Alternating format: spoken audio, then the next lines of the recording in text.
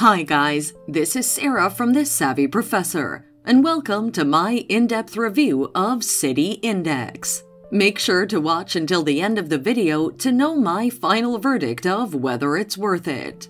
Let's start with a brief overview. Founded in 1983, City Index, which is part of StoneX Group, US based, is a UK based global Forex, CFDs trading, and spread betting company.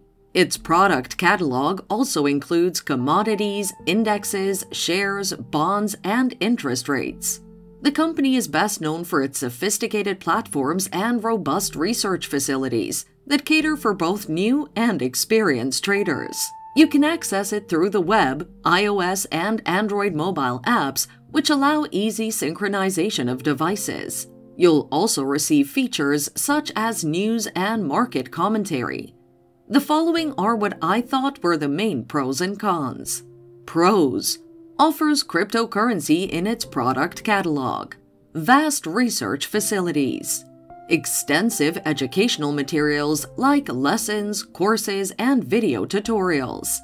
Cons complex desktop user platform, unavailability of MetaTrader 5. Now, let's look at some of the main features that make it stand out from the rest. Research tools and educational materials.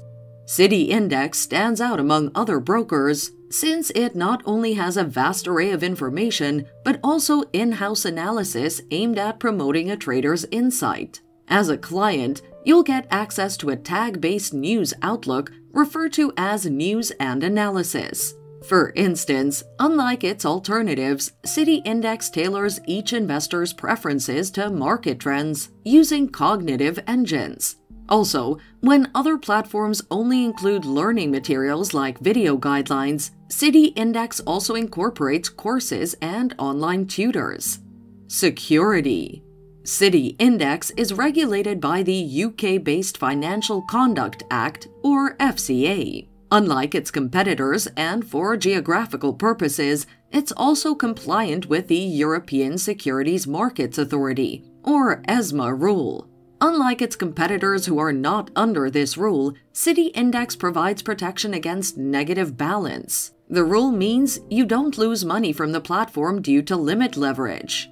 So, the following are who it's best suited for beginner traders and investors traders who wish to access a robust research investment facility.